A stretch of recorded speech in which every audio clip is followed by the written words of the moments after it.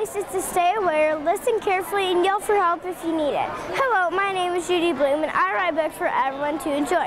Some of the books I wrote were Iggy Towels, Tiger Eyes, and Are You There God?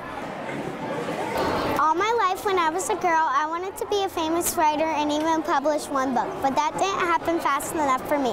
I am Anne Frank and this is my life. I was born in Frankfurt, Germany, June 12, 1929. Do you know Rosa Parks? Well, I do. I'm James Blake, driver of the St. Montgomery bus she rode on.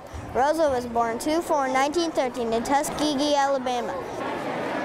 I could shoot stuff on the ground, on top of things, in the air, and even when I'm on a moving horse.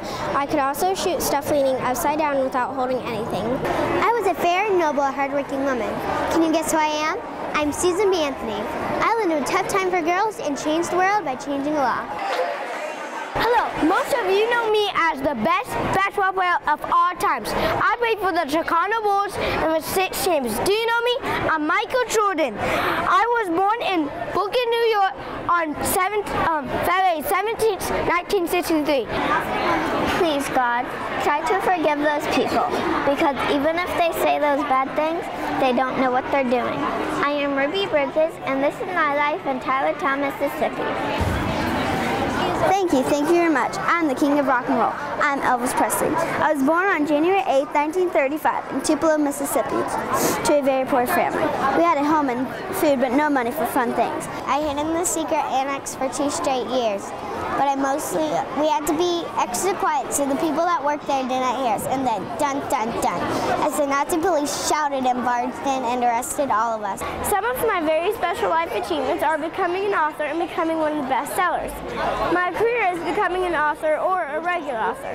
One of my best sellers are Iggy's House, and that's pretty much all you need to know about my life. Thanks for listening. Without Rosa, there would still be awful segregation laws. Rosa won many awards and was nicknamed the mother of the civil rights movement. Also, Cleveland Avenue was renamed Rosa Parks Boulevard. I died on March 13th in 1906. It was 14 years after my death that the government let women have rights.